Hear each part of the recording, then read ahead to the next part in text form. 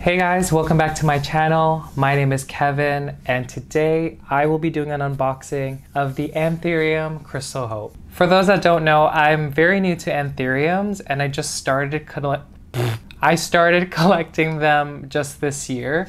And so um, yeah, this is exciting. I wasn't really familiar with the Crystal Hope. It does look like a Clar Clarinervium. It also looks like Crystallinum, and actually, people are saying that it's a hybrid of the Anthurium crystallinum. And I don't know if this is just rumors, y'all, but they're saying that they developed this uh, plant to stay small, so it could stay like in a pot indoors.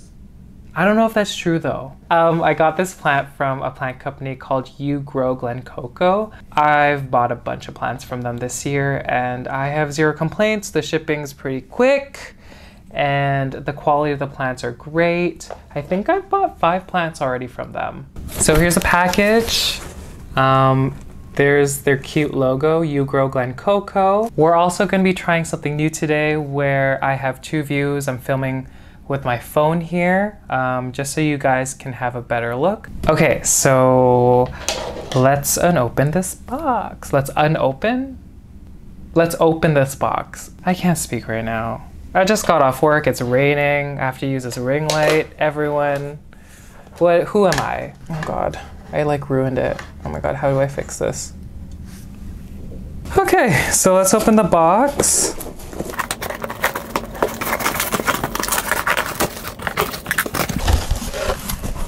So you could see that the plant is wrapped in parchment paper and it is taped down securely with tape, obviously with tape, to the bottom of the box. Just cut the tape off here. Then we have the plant. Okay, I think I got the majority of the tape off. Let's roll this bad boy out. Ooh, so cute. Wow.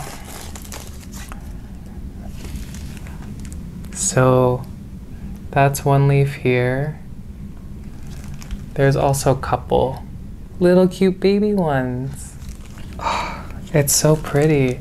Look at these leaves, everyone. Do these sparkle like a crystallinum? They do. I don't know if you guys can see that.